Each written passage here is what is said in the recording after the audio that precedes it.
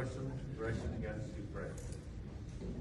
Therefore, with a view to giving a practical follow-up to these texts, the main focus of today's hearing will be on how Russian democratic forces represented here in this uh, in this uh, uh, this meeting can be meaningfully supported in their efforts, in your efforts, to end the Russian Federation aggression against Ukraine, restore Ukraine's territorial uh, integrity and sovereignty, and at the same time it should be useful to look forward and consider. Madam Suleimanov and then Ma- uh, Mr. Merezhko takes the floor.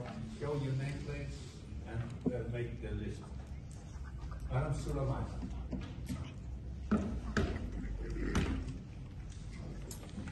Uh, Good morning, everyone.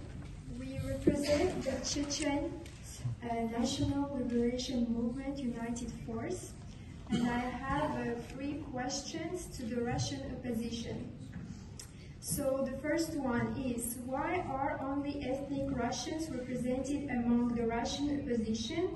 Isn't Russia a federation of different nations? The second one, you engage in political activities to improve the condition of your opposition abroad.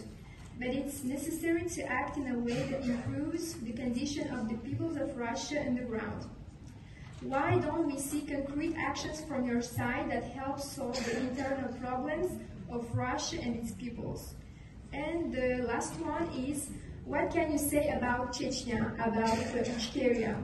Is it an independent occupied country for you or a region of Russia? Thank you. Thank you very much. Now go to our colleague Merezhko. Yeah, and just one quick question. Uh, what's your attitude towards um, decolonization and denuclearization of Russia? Are you in favor of keeping Russian empire, or you will let it to um, to disintegrate and to give freedom to the peoples and nations? Thank you.